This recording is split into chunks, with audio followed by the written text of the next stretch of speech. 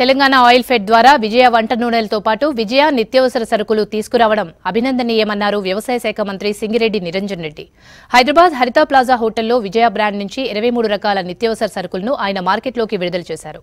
నాణ్యమైన ఉత్పత్తులు ప్రజలకు అందిస్తున్న విజయ బ్రాండ్ను ప్రజలు ఆరాధించాలని అన్నారు. తెలంగాణ రాష్ట్రం ఏర్పడే నాటికి ఆయిల్ ఫెడ్ టర్నోవర్ రెండు వందల కోట్లని ప్రస్తుతం ఏడు వందల కోట్లకు చేరిందని తెలిపారు. తెలంగాణలో రైతులు నూనె గింజ పంటను ప్రోత్సహించేందుకు ప్రభుత్వం కృషి చేస్తుందన్నారు.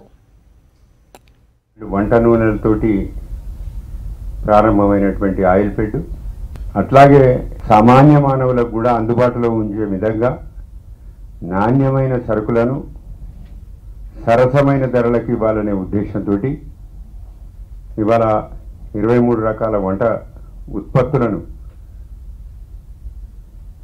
విజయ వంటగది లెక్క ఉండాలని చెప్పి ఇవాళ ప్రవేశపెట్టుకోవడం జరిగింది. ఈ ఇరవై మూడు ఉత్పత్తులతోటే ఆగిపోతుందా? ఇంత అయిపోయిందా అంటే కాదు.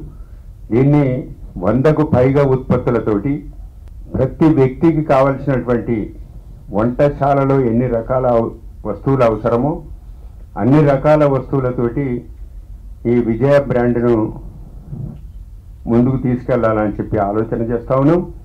పచ్చళ్ళ కానించెల్లి నమ్కిన్ కానించెల్లి నమ్కిన్స్ చాలా రకాల నమ్కిన్స్ ఉన్నాయి.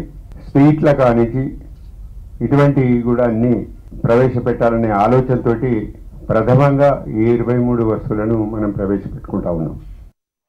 ఖమ్మం అటువంటి ప్రదేశాల్లో కూడా మేము కల్పించే